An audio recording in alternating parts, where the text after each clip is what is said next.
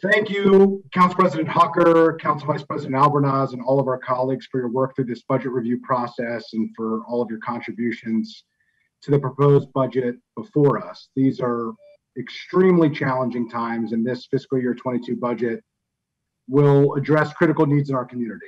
I'm proud to have advocated for and supported amendments to this budget that will increase social safety net services provided by county government and by our nonprofit partners support for developmental disability service providers, and much needed resources for mental health services, emergency care, and so many other top priorities. This budget fully funds our school system in an absolutely crucial moment as we are confronted with the increased disparities and social emotional impacts of this pandemic and are fully committed to working with the Board of Education and MCPS leadership for a full return to in-person instruction. The budget holds the line on property taxes at a time when many individuals and families continue to face financial difficulty and uncertainty. And it does so with an improved property tax structure we proposed last fall together and that county voters overwhelmingly supported on their ballots that will allow us to take full advantage of economic growth without raising tax rates.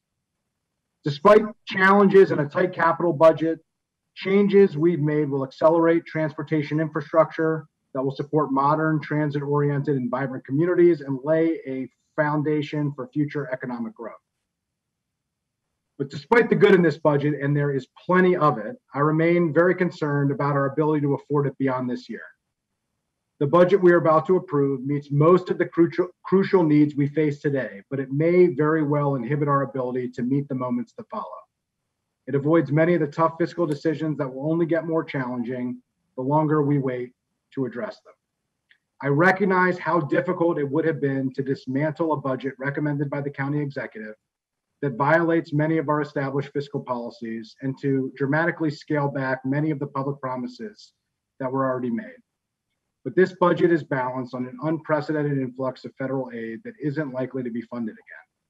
It funds programs, positions, and compensation increases that will be asked and expected to continue in future years without the benefit of another round of hundreds of millions of dollars in federal relief.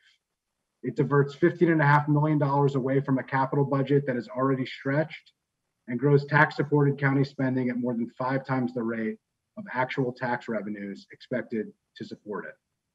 It's important to note that the budget that is only balanced for one year isn't structurally balanced at all. Despite those serious reservations, there was only one budget before us today. To vote against this would be to vote against too many positive programs and priorities we all share that are funded in it. Ultimately, this may not have been the budget I would have crafted, but this isn't a body of one, it's a body of nine. And so I cast my vote earlier today, the straw vote, and will cast my formal vote next week in support. We began this budget process by updating and recommitting to our fiscal policies to protect the long-term fiscal health and sustainability of Montgomery County. And I truly appreciate all of the hard work so many colleagues have put into crafting those policies, especially my colleagues on the Government Operations and Fiscal Policy Committee, Chair Navarro and Councilmember Katz. After approving this budget, it will be more imperative than ever that we work to implement these fiscal policies and continue that work to reform our budget processes and address the financial health and sustainability of county government.